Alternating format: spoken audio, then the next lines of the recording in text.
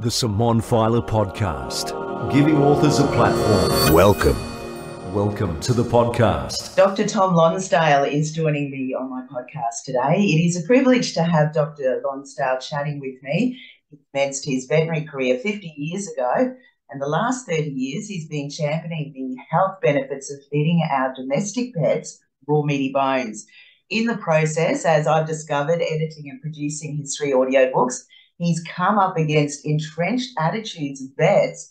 And as discussed in detail in all three releases, the junk pet food industry has been a mighty obstacle in getting the message of raw meaty bones out.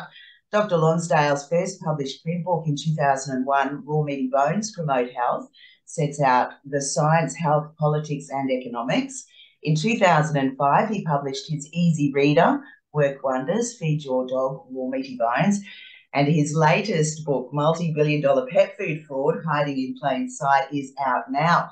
All three books are available in paperback, ebook, and audiobook. And if you want more information, go to thepetfoodcon.com. Welcome to the Simone Feiler podcast with Dr. Lonsdale. Wonderful to be here. Thank you for the introduction. My pleasure.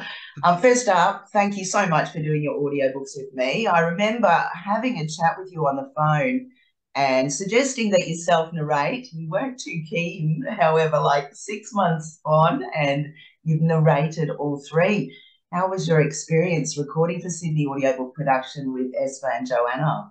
Uh, overall, of course, it was wonderful. Let me just first off say that I had some technical difficulties with my voice just actually intonating and conveying the message was difficult. So let, let me just establish that and get it out of the way. But they, of course, were incredibly helpful, very sympathetic to my plight because it was a plight, you know, just struggling through that. But that that's all the, the negative stuff I've got to say on that. Otherwise, it was just an amazing, uplifting experience. It's the sort of thing that I think everyone, if they can, they'd be really fortunate to be able to go into a recording studio and experience that wonderful, I don't know, creative atmosphere, creative activity, endeavor, um, filled with optimism for what we were laying on tape and hopefully what was going to be listened to by the public. Yeah, well, well done. I think you've done a great job, and I've learned so much editing and producing all three titles. And there's obviously so much to chat about given all the content. However, I thought we'd start at book number two, Work Wonders, Feed Your Dog Raw Meaty Bones, because that's the first one we recorded. So, why did you write Work Wonders and what's its primary purpose? Thank you. Well, um, let me say it was published in 2005, so that's a long time ago. Conditions were different back then. And I published the first book in 2001, Raw Meaty Bones Promote Health. I had thought that the book I published four years earlier, Raw Meaty Bones Promote Health, was the definitive statement, both on how to feed animals and about the um, corrupt environment, the cultural conditioning, where we were all accustomed to even putting the wrong label on cans and packets, calling it food. It should be called poison. So I'd written all that down and, and put it out there. Some people picked up on it. The great majority didn't. The the the people who were in was intended to read this, the, the vets, didn't. The people with an alternative mindset, they did for the most part, they had been BARFers, uh, born again raw feeders who were into mincing vegetables and so on. And I'd written that book, um, Raw Meaty Bones, to nullify their misleading statements and get people on the right track. Few people came on board in 2001, but it didn't last long. Those people, the great majority in the, the uh, mainstream, refused to take account. The people in the alternative with the alternative mindset they did. They came to realize that they'd been hoodwinked by the BARFer mythology came on over to the raw meaty bones way of thinking. But then after a while they decided in their wisdom that well suddenly there was no place for them because they didn't know anything about dentistry they didn't actually know much about medicine and surgery of animals but they did like the sound of their own voices. And they then decided that raw meaty bones information was bad and needed to be suppressed. And I was horrified. Suddenly there was effectively no supporters and a lot of detractors. The community was left very vulnerable. So I decided that I would write Work Wonders, Feed Your Dog, Raw Meaty Bones, to help people in the practical aspect and also to stand as something of a rebuttal to the BARFers who then turned into what was called the prey modelers. So it had positive approaches and it also had defensive approaches built into that book. And that explains something of the politics. And I think this is important because if you think that was back in 2005, and ever since, nothing has really changed. The um, the BARFers and the prey modelers and the alternative holistics are mostly anti-raw meaty bones. And of course, the conventional vets are completely against raw meaty bones. Nature's finest, best, most gentle, most effective medicine for carnivores is condemned by all parties. Extraordinary. It's absolutely extraordinary how mad uh, the human so-called civilization can be. Well, all three books are incredibly interesting and detail this particular topic um, amazingly, very comprehensively. But Work Wonders, obviously, Raw Meaty Bones was a, a bigger book, very comprehensive. Work Wonders is an easy reader and a very easy listen, eight comprehensive chapters. Kicks off with the first chapter, Getting Started. And such a great introduction, I might say, Dr. Tom, to all three books getting started, because you really were. Um, but what's your simple recommendation to get their pets started on the raw meaty bones diet, the obvious diet, just quietly, after reading three of your books? It's still difficult for people to uh, read something on the page and then translate it into practical action. Um, so I think it is very important that people should read at least Work Wonders uh, and understand what's contained therein. And then, because we are in the business of converting people over, we're assuming that anyone reading that has previously believed in the canned and the packet and what the vets told them. So I recommend that people try and unlearn that in the same way that if you were wanting to build something really important, like some big building, a cathedral even, um, first of all, you would clean, the, clear the ground, you would get rid of all the rubbish, and then you would learn lay secure foundations.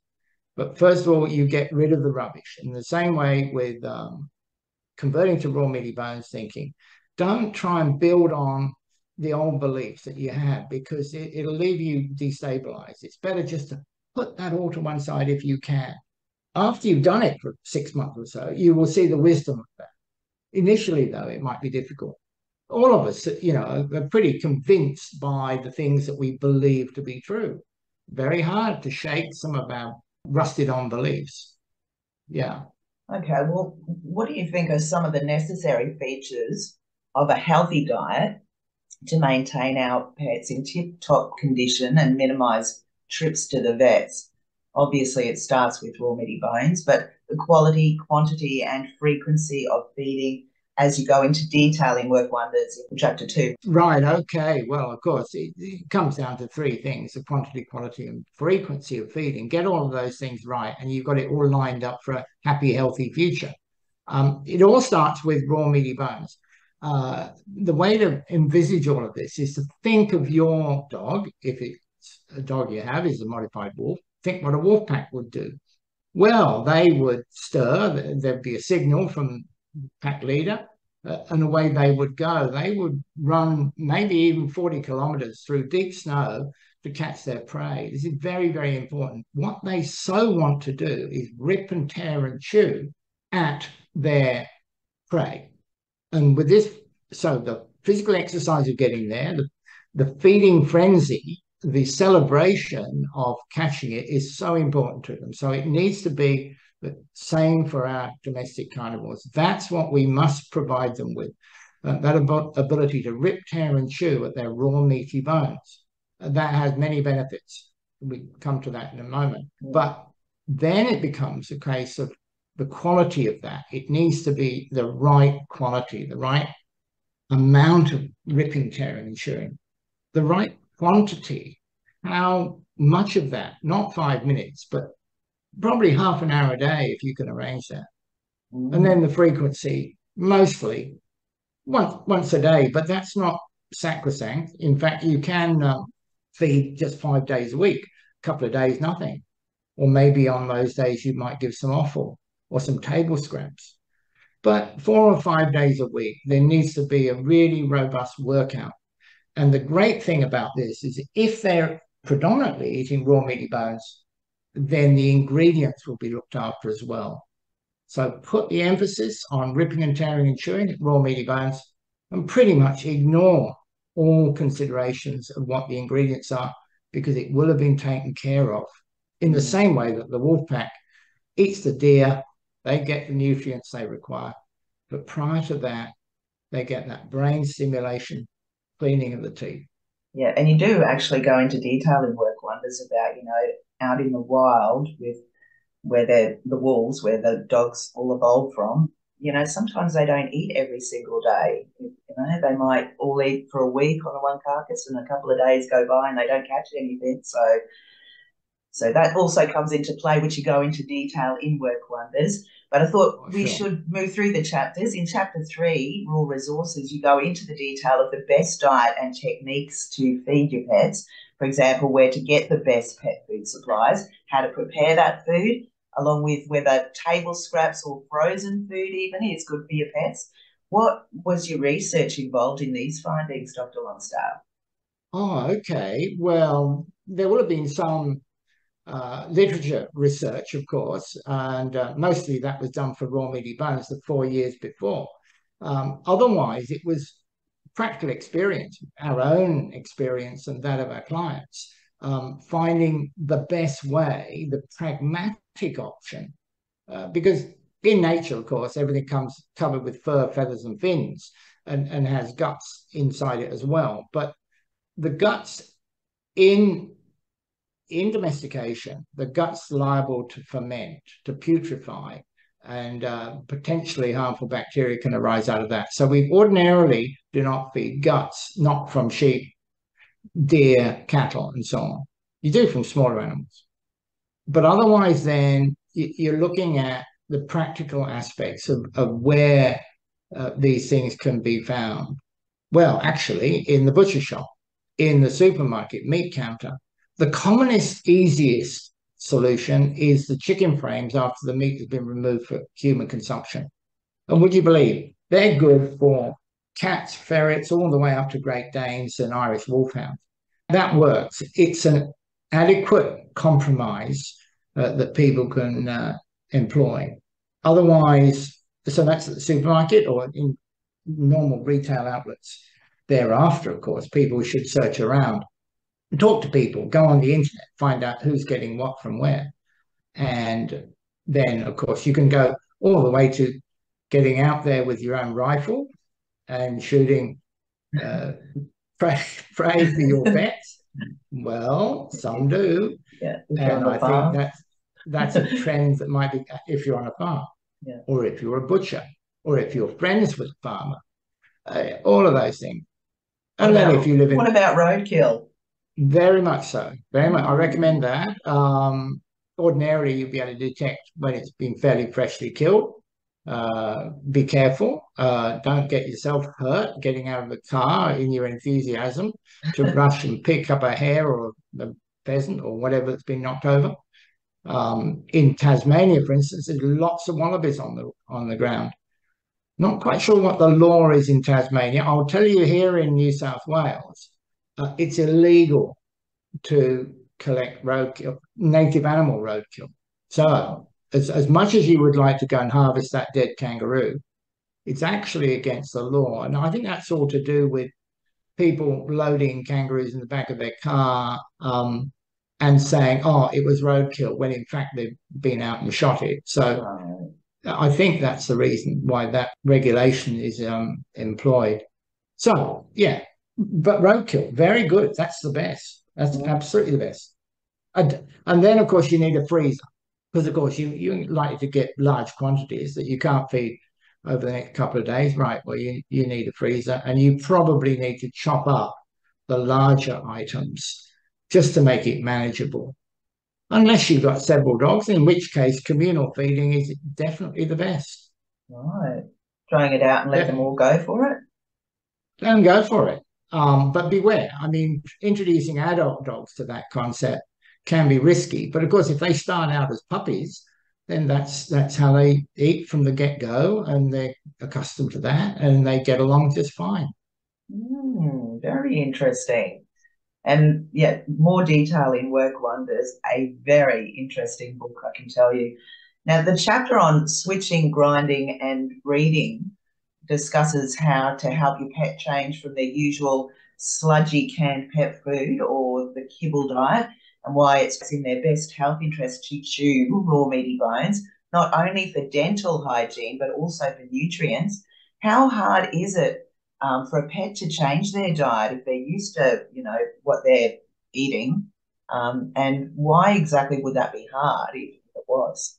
Okay, well, it, it's hard on two counts, really. One is for owners, owners doing something they're unaccustomed to. They really oftentimes don't have much theory or practical know-how. So that for them can make them a bit hesitant. Then your, your dogs can be, be hesitant, especially the smaller breeds um, that have had a few years of becoming accustomed and therefore addicted to the wrong stuff. And then suddenly the thought that they've got to rip and tear and chew can be a bit off putting for them, especially if they've got to- toothache. And they've got problems in that department. So, ordinarily, for dogs, you just switch cold turkey there and then. Um, one day you're feeding your canned and your dry, and the next day you're getting appropriate large pieces of raw meaty bones. For the average dog, that works just fine.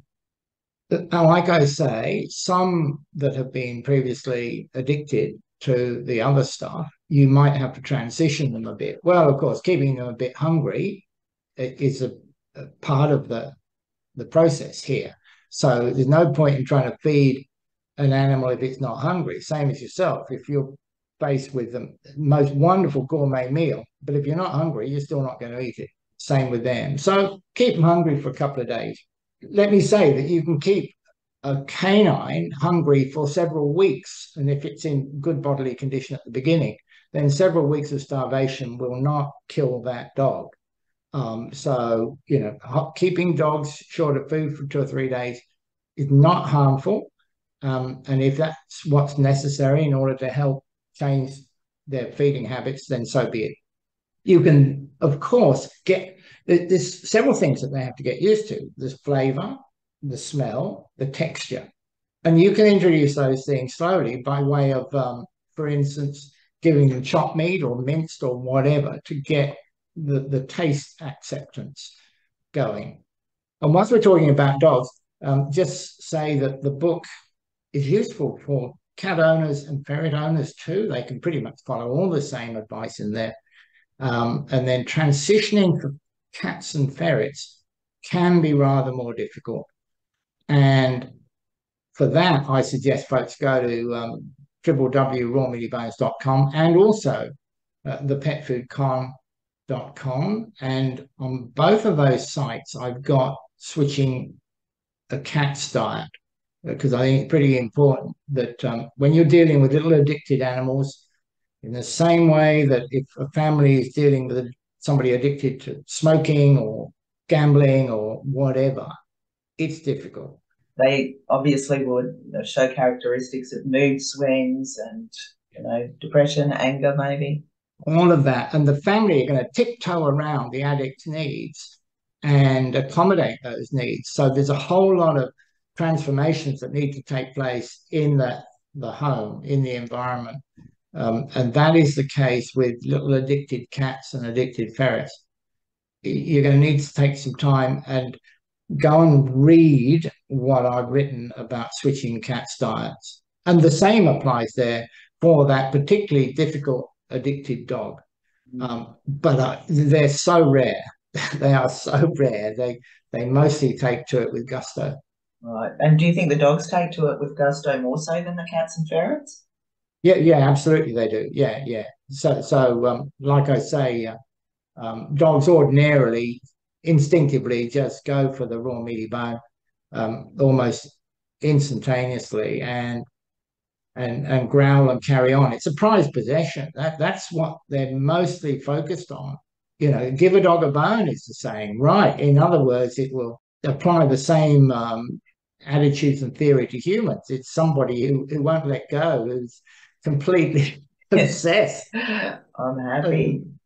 Oh, oh and that's exactly how the dogs are. They're obsessed with this prize that they believe they have run through 40 kilometers of deep snow in order to pull down and and, and kill and then devour in their own minds that you know they're on a trip that's that's gorgeous gorgeous yeah. but there's been there's been quite a bit of stigma around for years about feeding dogs raw meaty bones um, how they can get stuck or splinter or even i've heard that they can make the dogs vicious uh, you address this in chapter five of Work Wonders with risk management, but what are your immediate thoughts when when I mention this now? Well, it's a terrible bad thing that the the safest, most effective, most gentle medicine should be so stigmatized. Uh, so why is that? Well, look, with any medicine, uh, things can go wrong. Yeah, the the procurement, the handling, the storage, the administration, if you don't do it right, um, problems can arise. And in life, there's no such thing as a risk-free anything. There's risks with everything. Um, so let's let's be um, frank about that. Then going back to the history of these risks, how did they arise? Well, cook bones are indeed hazardous. They they tend to splinter Mm. um, and can penetrate internal organs. Uh, they also tend to get stuck. Um, so the sort of things that get stuck in dogs' esophaguses are uh, chop bones, especially the, the sort of knuckle end of the chop, chop bone. Uh, big, hard, heavy bones tend to break teeth, um, especially the carnassial teeth. So yes, inappropriate um, administration of raw meaty bones um, could give rise to problems. So be aware of that. So these are the physical problems. Uh, and the way you overcome that is make sure, if you possibly can, that everything is covered in fur, feathers, and fins. The wolves and the wild cats and the the polecats in the wild have no problem with blockage because they start from the outside and eat their way in. Right. So the closer you can get to that natural ideal, the better. So we're talking about the physical aspects. Then, in terms of bacteria, in the wild, there are very few, if any, harmful bacteria. It's a, more a phenomenon of the factory farm, where animals are wandering about in their own excrement up to their knees, and all of that excrement you can reckon is full of salmonella, campylobacter, E. coli. And that's the nature of things. Assume that. But it's the same for your own food in the in the refrigerator. So don't become overly alarmed and make that a big dramatic issue. The truth is, again, puppies and kittens introduced to natural factory farm food whilst they're babies in the nest tend not to have any subsequent reaction because they're introduced to the bacteria at the same time as they're antibody levels are high because they would have acquired those antibodies from their mother in the first milk, in the colostrum. So feeding puppies and kittens from the get-go in the nest is the best. If animals are introduced to these things in later life, sometimes you have a few days of diarrhea. Ordinarily, it's no, no worse than that. And they're definitely not reasons to not feed nature's best medicine. Thank you. Also, there are groups which you did briefly mention when we first started talking outside of the three uh, big pet food companies, which I'm sure our listeners um, may be surprised to learn are Mars, Nestle, Purina, and Colgate. I was taken aback. Um, but these groups, as you mentioned earlier, BARFers, prey modelers, and holistics, claim that their pet food products are more natural and better for pets than the big three. And I did look up a few sites and I see some of them just use meat and veggies and they're cooked at a low temperature. And what are your thoughts on the new age pet food companies? Well, I'd like to see them in the court. I, I think that their claims need to be examined in, in a courthouse and let them uh, try and defend what they're doing because I think it's monstrous. I, I think they've hijacked the debate. Uh, they're holding uh, pet owners and pets to ransom.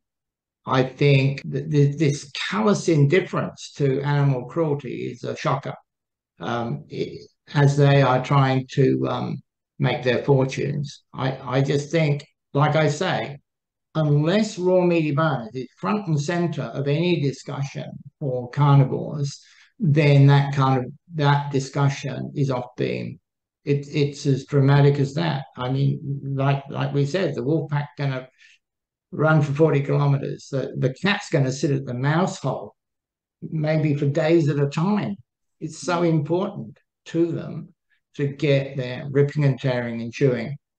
And that's got to be your first priority. And once you've accomplished that, everything else falls into place. Mm. Well, you graduated with your university degree in veterinary science in 1972. So you've been in the industry for over 50 years. Obviously, you know your stuff.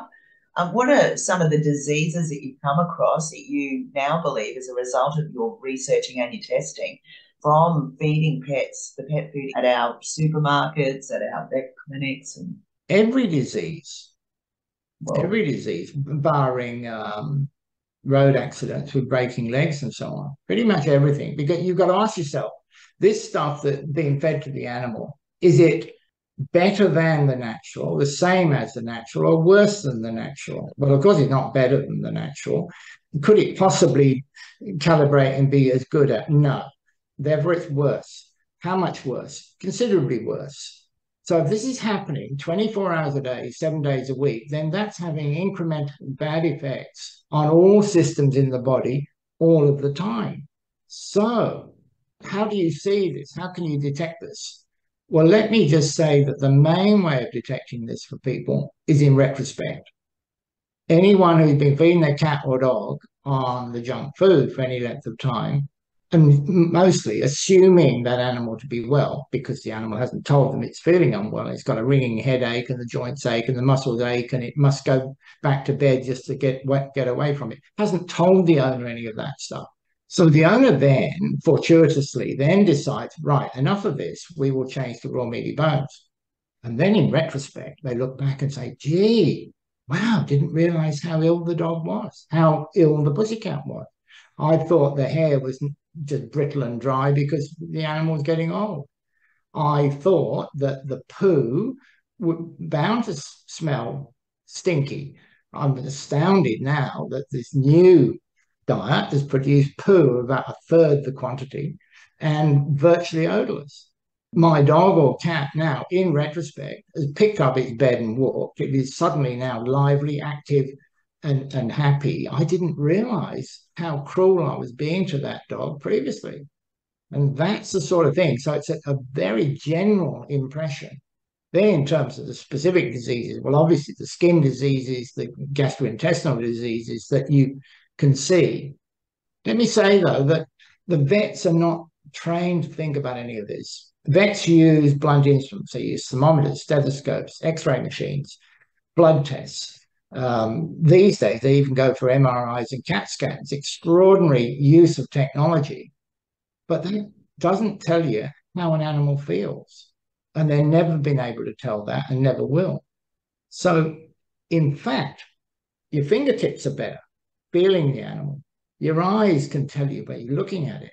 You use your ears to hear what the owner says they've been feeding. And straight away, you know things are wrong if you approach it in that way. And then you say, well, the way to find out which is right and which is wrong here is let's do it test therapy. Let's stop doing the poisoning bizo, eye label it poisoning, try the raw meaty bone solution and see what we've got. ordinarily, if owners come back, if they come back at all, they come back with a bearing a big smile. Most often, they don't need to come back. It's extraordinary. They say, "Whoa, that's that's the answer." Wow. We're talking with Dr. Tom Lonsdale about his work wonders, Feed Your Dog Raw Meaty Bones, which I've had the pleasure of editing and producing his audiobook. It's amazing. I recommend it highly for a completely different insight into how you feed your pets. Uh, chapter seven, Dr. Lonsdale, your chapter on dentistry was an absolute eye opener for me. Fundamentally, good health, and not only in pets, but it's known for humans too, comes from good dental hygiene. And it really made sense to me that domestic dogs and cats and ferrets don't actually have a way to clean their teeth, you know, and a lot of dogs, including my Pomeranians, they had bad teeth.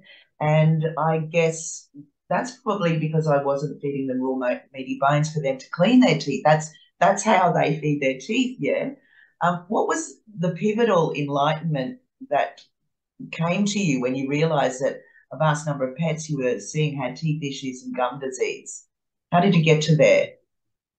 Mm, well, it wasn't a sudden road to Damascus enlightenment. It, it was slow. It, it, it took time. It alas, it took way too much time.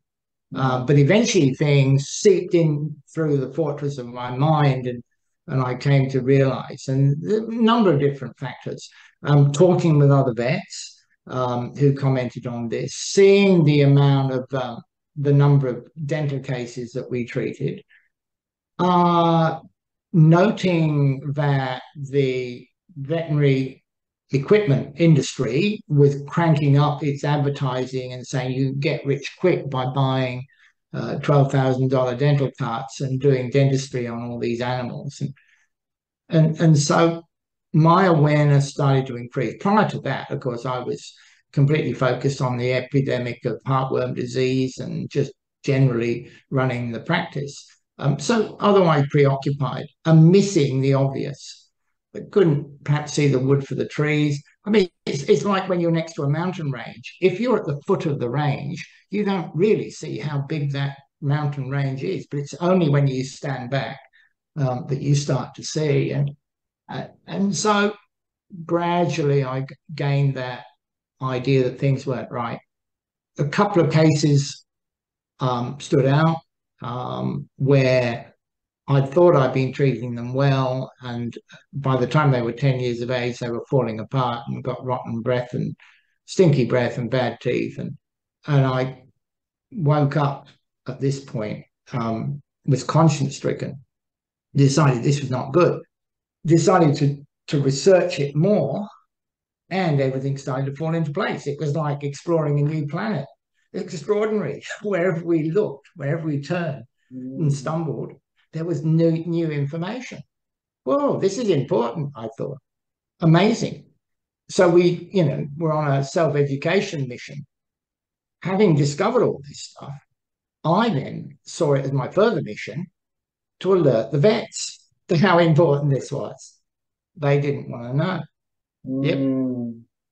Well, you certainly embarked on a journey and it's opened my eyes. You know, I was very fortunate that you called me that day and said, "Hey, I'd like to do my audio book." I've learned so much. Um, so, Work Wonders. That is the book we're talking about. Dr. Tom Lonsdale has released three books, all very important. But given what we've been talking about today, Dr. Lonsdale, what are the first steps that we as pet owners can do today to start helping our pets live healthier, happier, and longer lives? Oh, thank you. And thanks for the question. Um, just now you said you've learned so much by uh, producing these three audiobooks, and, and you are one of the very few people on the planet who've actually worked their way through all three books. Mm. And as you found, that that's been quite edifying. Um, that there's a consistency that runs through all the three. Um, so after it, you know, it, it's 20 odd years since the first one.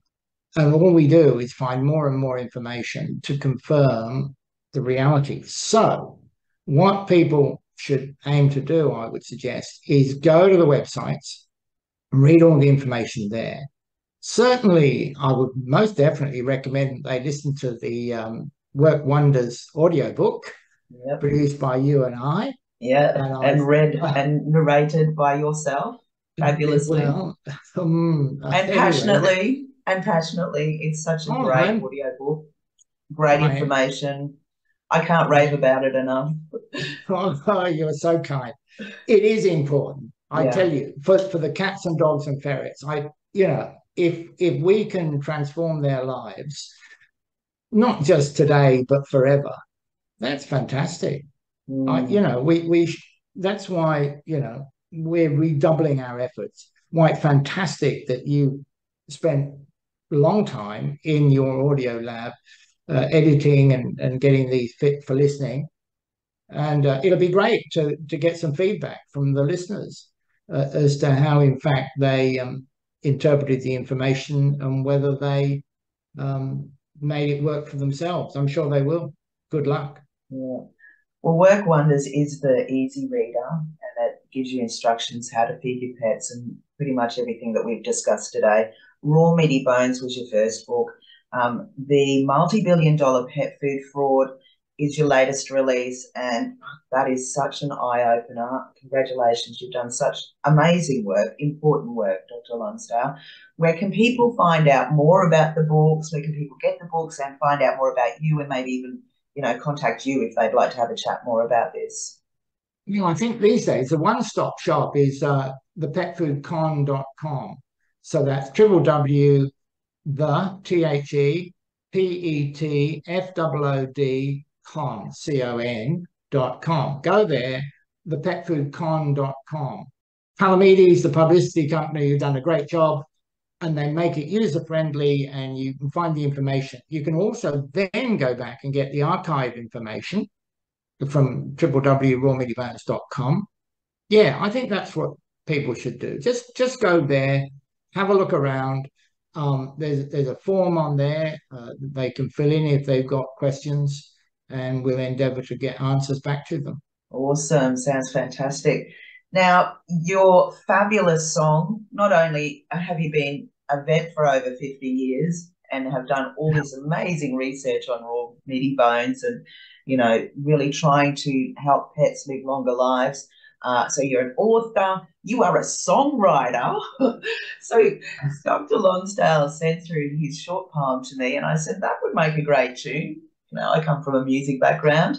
But that conversation inspired you to chat with your muso son Luke, and now we've got the mastered copy of your hit single, Work Wonders, uh, the hit song for your pets. Wouldn't it be great to just have this song at the top of the iTunes chart, Dr. Lonsdale? Such a What- simple and important message. Sure, good. Okay, well, it, yeah, just, just lightens the, the mood and um, it, it's optimistic and, and forward thinking. And I hope that people will have a listen. Uh, if and when they listen to Work Wonders, the, um, the audio book, they'll find it as one of the later chapters added in by your good self. And that's great. Yeah, absolutely. Yeah, I highly recommend the listen. I've been playing it here and it's stuck in my kids' heads. And like I said, a very simple and most important message. I'm going to actually crank it up now for the listeners. Dr. Tom Lonsdale, thank you so much for doing your audiobooks with me and being a part of my podcast today. It's been a privilege. Simone, terrific. Thanks ever so. See you. Bye.